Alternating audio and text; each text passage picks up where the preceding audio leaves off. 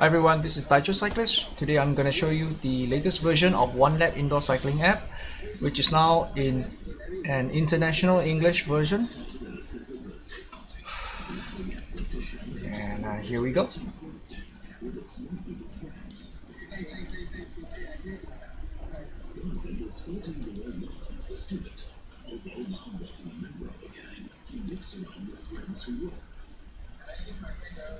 Cheryl is a 15-year-old student and he was a member of a gang. It would be both those connections with gangs that would spark up a deadly confrontation. Welcome to OneLap.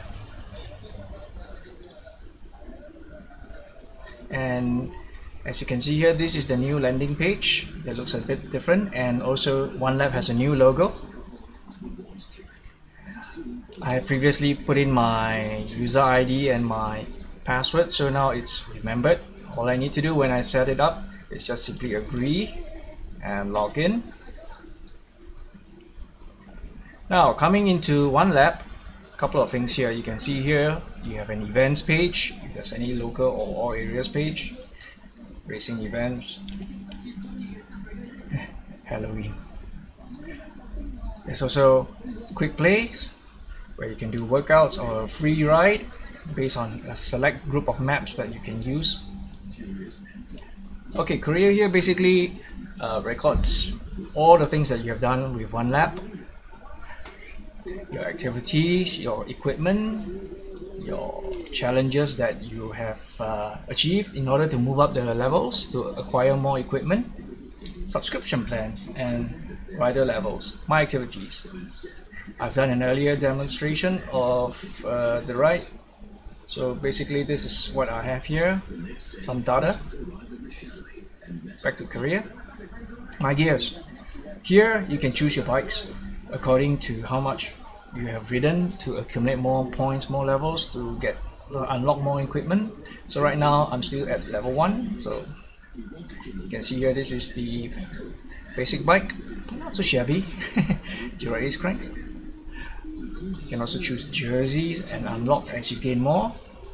Same thing for helmets and sunglasses.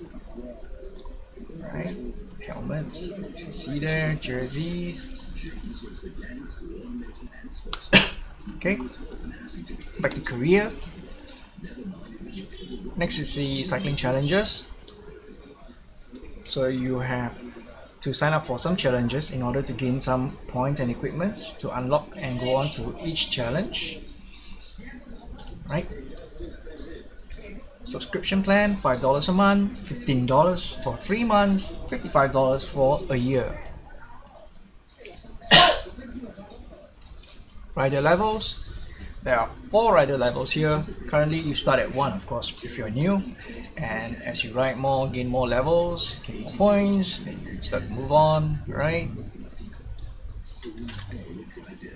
Uh, in fact if you send an email to support at magene.cn they will evaluate your rider level. Photo of you holding OneLap nickname. Uh, things like that here. Uh, skill showing your weight video files they probably will put you to a level that's probably suitable for your level. If you're one two three or four depending on where you are now right so now let's go back to uh, a couple of things here. Let's go back to home.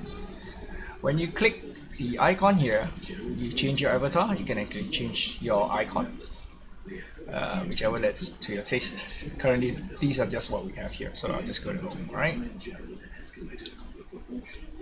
Options, settings, one more thing. Settings is where you put in your profile, like it's my daughter anyway, new. Um, this is your skin tone, system settings, things like that, da da da da da da. Okay, your power, you want to put see your jumping power all the time, or you want to see uh, instant or 3 seconds, right? For graphics quality, depending on your monitor, your graphic card, so it can up to 4K high quality, we save them, right? Save successful, go back to the options. Okay, go back to okay, let's go for a free ride, alright?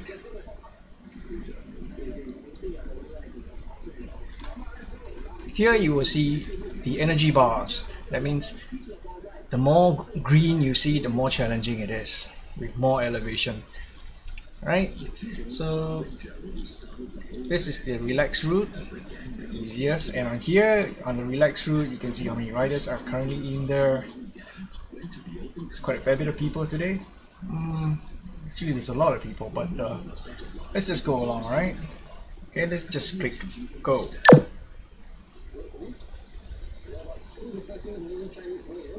Here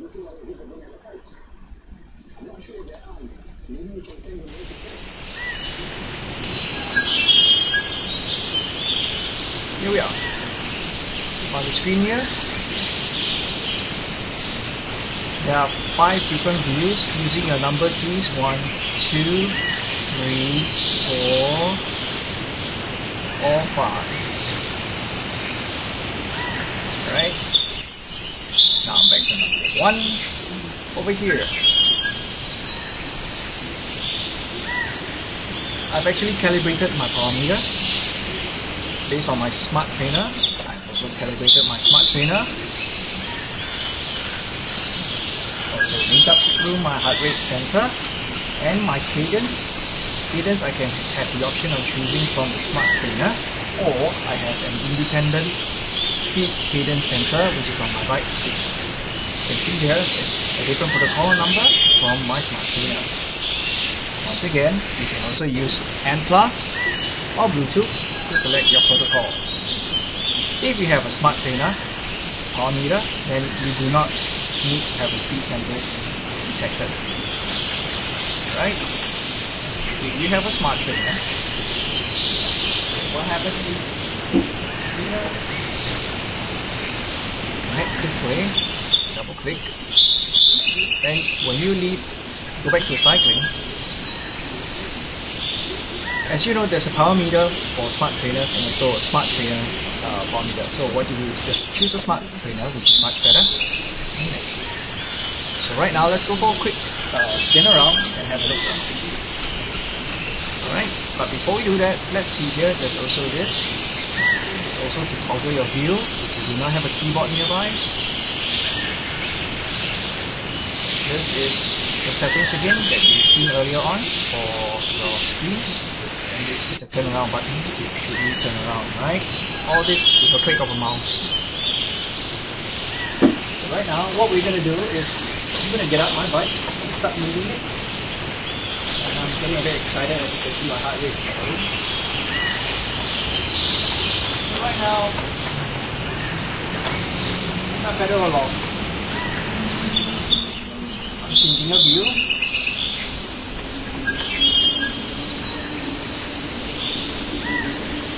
and you notice that on your power, color changes based on the intensity.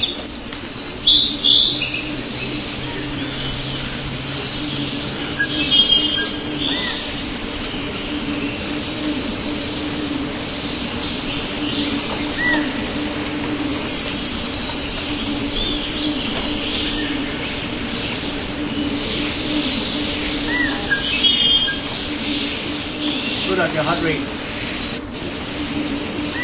Color is an indication of the zones, which is a nice subtle touch without having to put too many bars and graphs on the screen. And the FTP and heart rate maximums are represented in terms of percentage of max.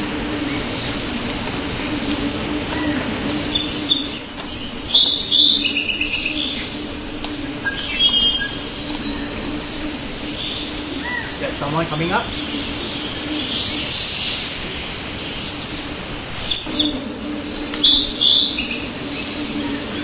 This is at best detail, high quality.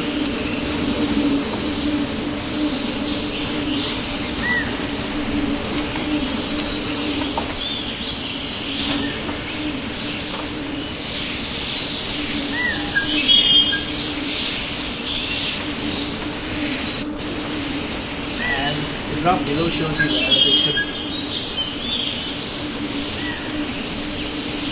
Okay, let's try turn around.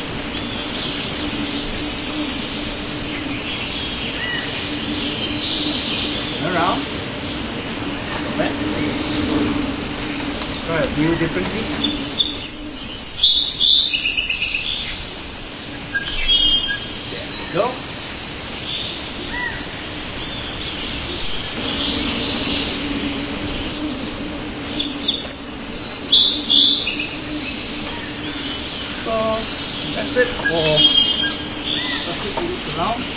One map. English version. Sure is an interesting one.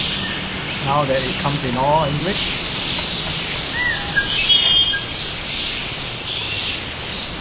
So okay, as we stop here, how do we get out of this? Okay, let's say I decided to stop. Settings. Just click right. So your data now is being uploaded. Back.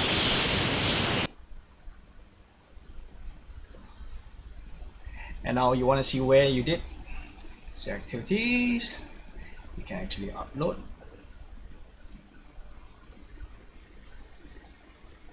Yes. Finding. Okay.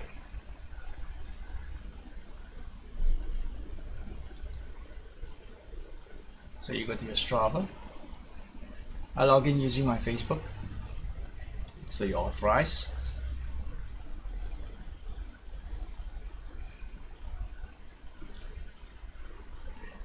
So now we go back to OneLap. Okay. You will auto upload now.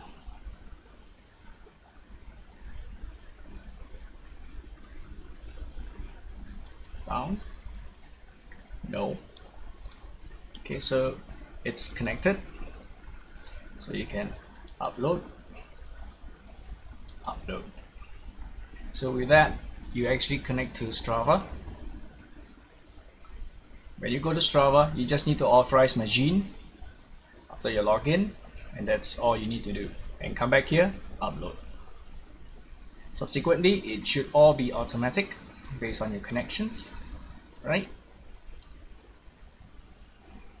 So with that done, I'll go back to the main page. Once again, here's where we started.